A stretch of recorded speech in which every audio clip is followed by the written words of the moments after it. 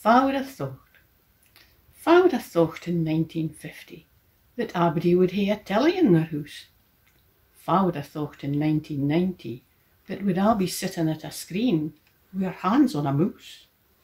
Fa would have thought in 1960 that a rocket would drop twa men on a mean? Fa would have thought in 2020 we'd be speaking to family on a computer screen?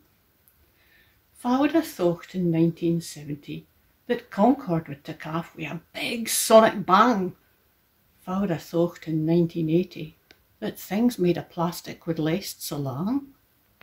Fa would have thought in 1980 that the oil and gas business would gang belly up. Fa would have thought in 1990 that Aberdeen would beat Celtic in the Scottish Cup.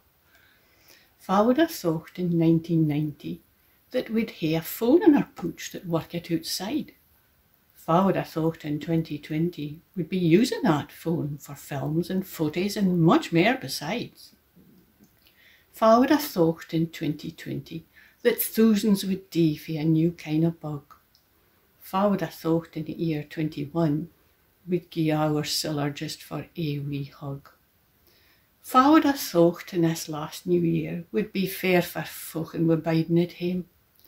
Fa would have thought a few more weeks on would be sconnet with things being just the same. Fa would have thought and sick a trachel would fin wise to pass time with wiving and cooking, and fa would have thought we'd be jinking about with Joe Wicks and a telly to keep us good looking. Fa would have thought that a trip to the dentist would see us rake out our best clays and our sheen. Fa would have thought that a day in dreaded would feel like a day out the best that there's been. And fa would thought that SIMLD would be carousing on screen instead of a hall. Fa would thought it would be feeling alright, because even on Zoom the acts will enthrall. So for us here nae gathering in boorichs, nae standing in line our flurry posies, but we'll think just the same of the reason we're here, and look forward to next year, berry annies and bosies.